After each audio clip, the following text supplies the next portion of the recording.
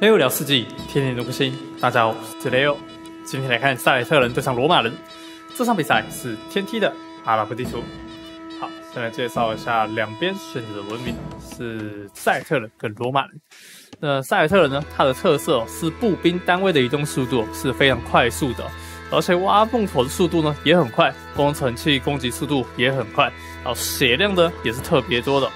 那塞尔特人主要打法还是围绕在步兵跟工程器身上。虽然它有游侠，但是它没有三级马凯，也没有这个品种，所以游侠部分呢是非常少的情况下才会使用的。好，那我们接下来看一下罗马人。那罗马人呢最大的特色是它的弩炮造价只要三十块黄金，而且可以受益于弹道血，还有攻速加成。那罗马人呢，他的步兵的铠甲每顶一点是两倍的防御率。百夫长呢，还可以增加百夫长能力哦，呃，军团长才对啊，可以就是增加军团长能力。那百夫长呢，它的效果算是一个双防很高的骑兵哦，而且呢，点下野战军之后，跟军团长一样哦，会有这个蓄气伤害的效果，而且制造速度非常快啊，所以罗马人哦，非常适合骑兵加步兵的打法，再配上弩炮，是适合罗马人的后期决战组合。好，那我们接下来看一下两边的封建时代。好，这边是看到这边已经开始挖木头了啊，应该是会先补到三个人伐木，然后待会再补一个房子。好，这里就可以先补一个房子或两个，直接拉到底。好，赶快围。好，那塞尔特人这边伐木也是三个人伐木。那这一场的对决哦，是这个这应该是大可吧？呃，大概是两千三百至两千四百左右的分数啊。呃，Ripper Hera 呢是两千七、两千六啊，都都是非常高分哦。其实，在顶尖的差三百分来说，并不是差距非常大的。当然是以胜率来说，这三百分差距是很多的。但是以实力来说，两千四百分跟两千七百分玩家，还是有一面的机会哦，不是完全没机会的。好，那我们来看到赛特人这边是已经补下了军营啊，右边是罗马人，这边还没有补军营，这边是省了一个模仿吗？看一下模仿有没有省，对，省了一个模仿，补了一下军营。好，等一下封建时代，这里棒棒要打吗？这不打棒棒，是不是对不起塞尔特人的步兵移动速度加成呢？好，果然是选择了棒棒开局。那罗马人这边呢？哦，是决定开模仿，没有开军营。那这里就不是一个棒棒开局了。那对方是棒棒开局的关系哦，这边可以赶快围加一下，好，把这里围起来，小围一下。好，让棒棒一定要从这边绕过来，再走过来，打到这个地方。那这边也要稍微围死啊。才会比较不容易受到塞尔特人的棒棒快攻。好，封建时代开始，棒棒移动速度变成一点零三，移动速度超级快速。罗马人这里升到封建时代应该是会下马厩。好，先点一个一级伐木，还有一级农田。好，结果这里没有围，这这边是要改为围房子了。，OK，防守围好了。好，那我们这里赶快围。好，木墙围好。好，那围起来看起来没什么太大问题。看到装甲步兵直接转了毛兵，弓箭手还没有打算去开始挖。好，这边是先稍微围一下。哎呦，正面也围好了。大哥这边罗马人围家围的很快，枪兵戳到了一发，血量只剩二三滴血。好，这里再把自己围起来。这两只村民有机会跑掉吗？好，出来偷打下村。装偷打一下装甲步兵，太会了！好，这边罗马自己杀掉了一只毛兵。那赛特人这边直接转出毛兵，加上装甲步兵的前压，当然没有尝到任何的甜头啊！罗马人这边防守非常快速，而且农田已经撒了非常多十片田了啊！好，这里继续出毛兵，补一个房子。好，这边高打低一下，OK，但是伤害怎么打是一滴血啊！好。那这个城镇中心收掉了一只装甲，右边村民反击一下斥候，右边这种围到底啊。好，那正面的围法应该没有太大问题，主要是这个金矿落在外面了，会很难防守。好，后面这边小打一下，收村，啊，吃到几滴血，想要围掉，再撞一下，哎，但这个落马还是没有办法解决掉，但是没有办法追杀成功，还有八滴血，好，收掉。好，后面大量的毛兵加装甲也出来了，罗马还在这边绕。赛特人这边农田数也来到了十四片田，好，封建时代应该可以安稳的度过了啊。好，罗马人点下了城堡时代的升级，但金矿真的守不住，真的没办法啊，这个只能撤。这张地图对于达克来说是稍微有点不利的，因为这黄金全部遗留在外面了啊，围墙的外面，所以现在罗马人是断金的状况了。可以转弯挖石头，挖石头盖一层城堡，慢慢守住哦，或是直接下一个城镇中心。好，好，罗马人这边是损失了大量毛兵，毛兵全部受伤，哎，还有被抓掉了一只村民。好，赛特这时候才补下一级农田跟伐木技术，好，直接鬼转品种啊！当然，这一下品种是要打肉马吗？没有黄金骑士是按不出来的。这里买卖一波，看来死蛟买出骑士来。好，按骑士，按骑士。再补一个兵工厂，待会要来点一下一攻一防。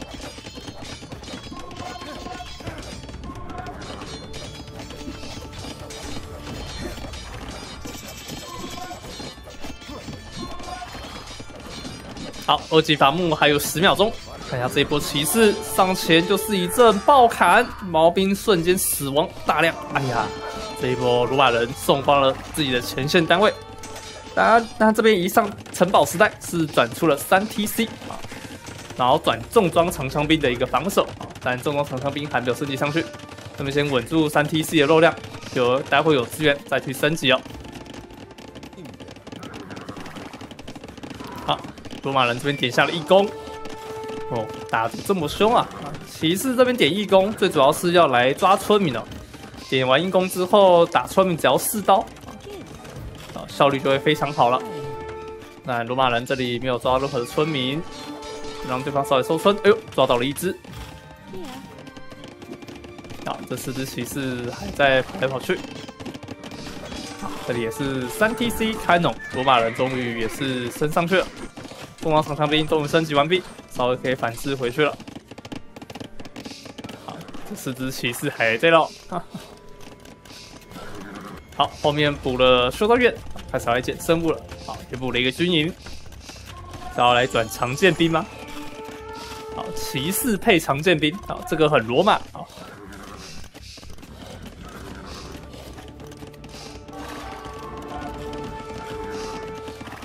罗马人果然是点下了装甲步兵的升级。那资源量来说，还没有办法很稳定出步兵哦，因为现在田还不够，三 TC 运转需要的肉量还是需要一些，大概二十六片田左右。好，好，这边长剑兵直接升上去，三军营出长剑兵，然后配肉马啊，这个策略其实对打罗马来说算一个很好的一个想法啊。因为罗马人骑士并没有太多特殊能力哦，出骑士不如出百夫长。那如果没有机动性单位的话，就出肉马。而肉马的话，也可以打对方的僧侣啊，反制回去也是不错用的。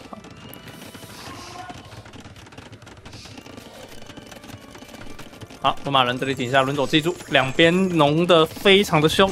赛特这边四 TC 开农，想打地货吗？帝王时代打罗马人优势并不是非常巨大，除非他可以稳定的转出弩炮或者是重型投石车，才可以跟罗马人哦打的比较有优势一点啊。但罗马人的弩炮甚至会产能来说会优于赛特人。那赛特人反击方式都是用重型投石车，不然就是用大量的步兵哦直接包掉。那大型大量的步兵的话，打弩炮来说也不是非常的好用啊。好，那我们就来看一下赛特人会怎么打。好，这边枪兵戳掉了僧侣，帝王时代补下。好，照枪掉了一只枪兵，僧侣能够捡得到这个圣物吗？应该是没有办法。这里重兵防守，啊，硬捡捡了回来，让僧侣走到更里面一点。但这里并没有办法把生物给围起来。最后大哥是决定放弃这颗生物。哇，两边一路从封建时代之后直接跳成城堡时代开农，然后盖起了万里长城。哎呀，这个打法很少见啊！现在的天梯生态里都是一直打架、一直打架、一直打架的啊，很少看到这样一直农上去的。但这一场两边都采取了一个特别的啊打法，都是开农上去，没有太多的骚扰。好，罗马人这边帝王赛补下了，还有大概十秒钟。好，这里亮光技术也补了，手推射也补下，农田技术二技能补了，还有亮光技术。好，长剑兵过来看一下，哎呦，对方转了松兰武士。OK，帝王时代一升上去，巨型头 C 造了两台出来，松兰武士数量有点多，攻击力是十一点。打长剑兵的话，其实有点痛的。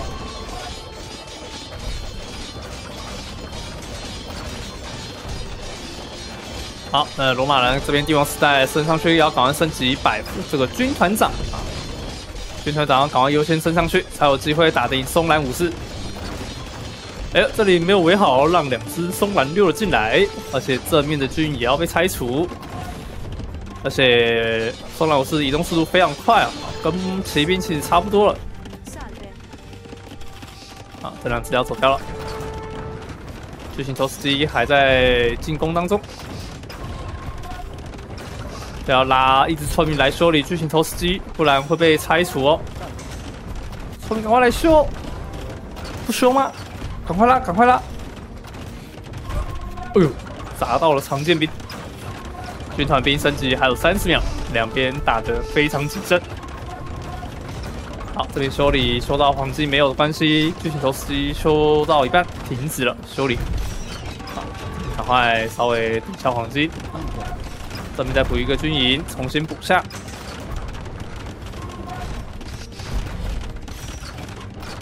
这面巨型头 C 终于要拆除了吗？难道这边是塞尔特先拆出，拆出对手？好，军团兵开始往前了。二攻还没有补下，看一下这边，松兰武士有高地的优势。军团兵现在是十二攻，比松兰武士还要多了一点的基础伤害啊。好，但是已经变成精锐松兰武士了，伤害已经又突破了啊，比这个军团兵还要再多两点伤害。那松兰武士满满伤害之后，跟游侠的伤害是一样的，十四加四。那军团兵这边升级上去是十二加四，十六点，伤害差两点。那如果再加上野战军的第一刀伤害的话，可以稍微补增一些伤害的落后。那造价来说的话，跟产能哦，都是罗马人的军团兵比较便宜哦，而且产得又快。松兰武士有这个产能不足的问题，而且现在城堡已经被拆掉了一座，第二座城堡也被拆掉，松兰武士会非常难缠哦。好，这时候塞特松兰武士配上弩炮，这个打法非常优秀。好，军团兵正面继续扛了下来，第二栋城堡也再次被拆除。军团兵这边开始死伤出现，血量有点残了。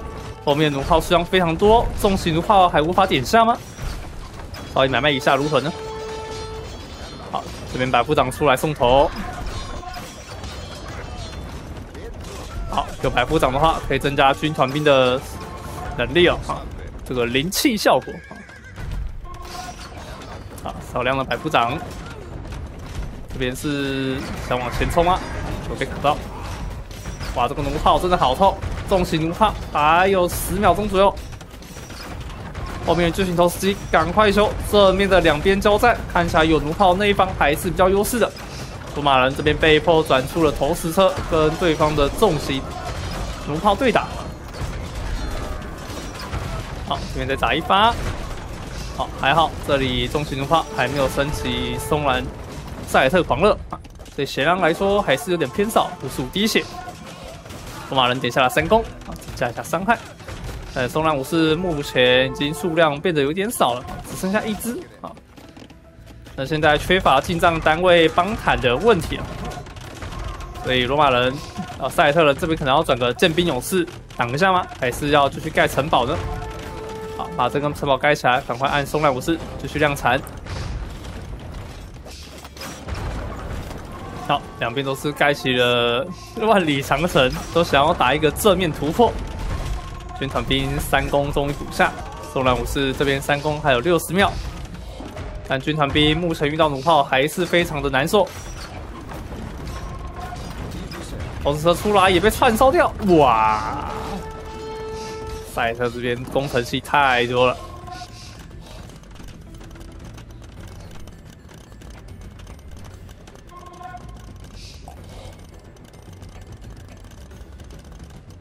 OK，罗马人先受不了，点下了中投的升级，中型投石车砸弩炮效果是很好的。那通常有火炮的文明哦，是会优先点出火炮来反击弩炮是更方便的。还有这个巨型投石机。呃，当然罗马人哦，他也可以选择一个大落马去拆弩炮的一个动作。当然这边升级来说还是需要点时间的。那对方不知道会不会给罗马人有这个时间点出大落马呢？好，最近投石机继续开拆，两边都在打一个阵地战啊。好，上方城堡两栋继续坚守，顺利拆除赛特一栋的巨型投石机。第二台巨型投石机会被拆除吗？哦，我们也工程器制造所补了两个，待会可以开始量产投石车。这让我是拆除建筑速度非常快，这边想要打出来看里面藏的是什么？哎，藏的居然是投石车。投石车赶快看到，我们拿着斧头就是一阵爆砍，顺利拆解成功。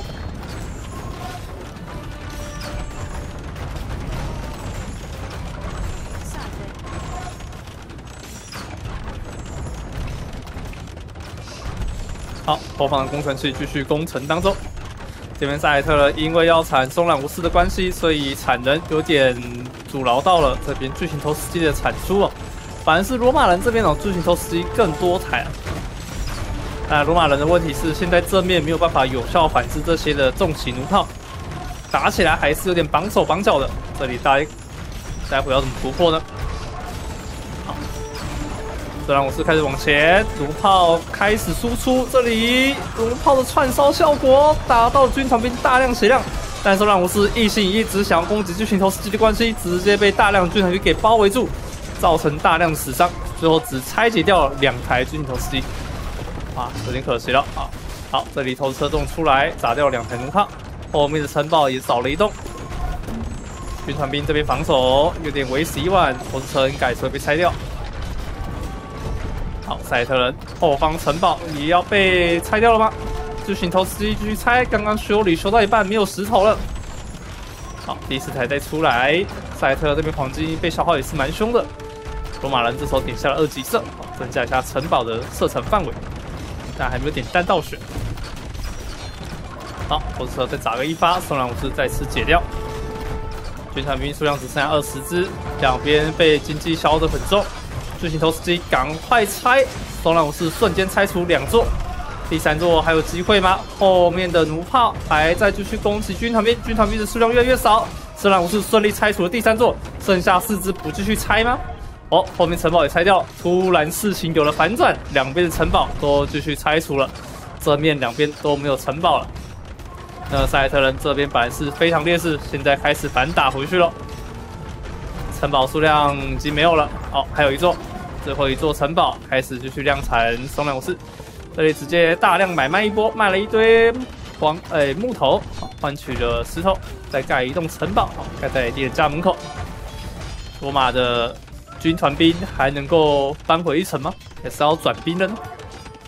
但现在转兵来说的话，塞尔特人其实经济也不是那么的好，罗马人不是那么的好啊，要转这个大罗马。升级黄金还是非常需要的，但是如果转落马的话，对方的松兰武士也会打不赢哦。所以现在罗马人要思考东西很多，要该怎么打是个问题啊。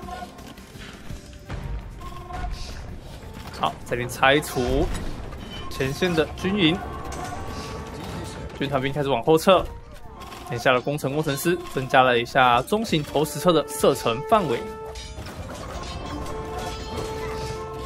好八加一，好，这里拆除。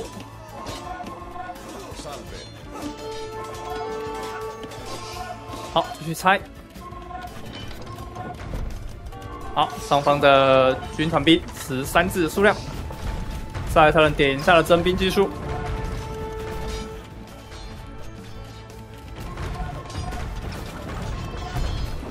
这里大量的松兰武士开始进攻，后面弩炮来到了十八支的数量。哎呦！那这边还没有点下赛特，狂热还没有点下。这里投石车有点难砸到步兵。哦，终于点上了。赛特狂热点完之后，能耗血量就会很多。罗马人这边被一直逼到后方，火车砸个一发，打掉了一些松兰武士。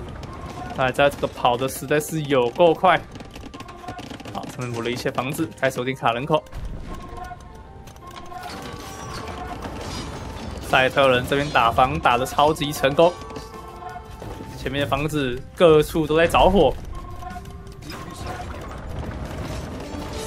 哇，这里松兰武士真的没聊理吗？军团兵怎么没有去营救呢？前线的投石机这么多军团兵在防守，结果还被人家拆掉！我的天，重要的投石器一直被拆除，赛特人太猛。后面这里死伤惨重，罗马人村民数掉到只剩下一百一十五村左右。后面补下了更多的巨型投石机，终于想到自己有落马这个单位可以用，赶快升级一下马凯。大河这边的升级似乎慢了半拍。有这么多肉，但是却没有马厩跟大肉马可以使用，相当可惜哦。好，马凯还有两级没有升，该怎么办呢？赛特人又补了一座城堡，在你脸上啊！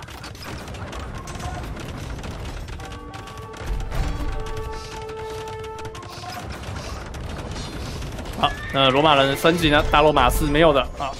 那这边马凯还要赶快再点一下。不然这个升级有升跟没升还是差蛮多的。好，这边轻骑兵送光。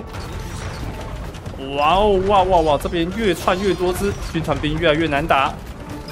哇，弩炮开始在打巨型投石机了吗？现在罗马人使用巨型投石机，想要反制弩炮回去。好，后面的巨型投石机也想要拆除。这面高达第一军团兵好像快要顶回去。好，有机会吗？后面弩炮还在输出，三两武士数量还在继续淹了过来。中型投石机出来，结果一出来就被三两武士拆掉。罗马人的中型投石车都没有做到太多的效果，正面军团兵也被弩炮最后瓦解完毕。